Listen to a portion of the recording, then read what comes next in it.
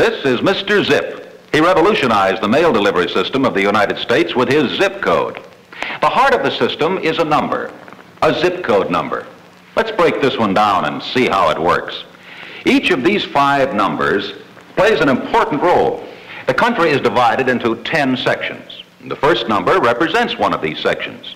In this case, the 6 stands for a part of the Midwest. The next two numbers narrow it down. For instance, the 06 pinpoint Chicago.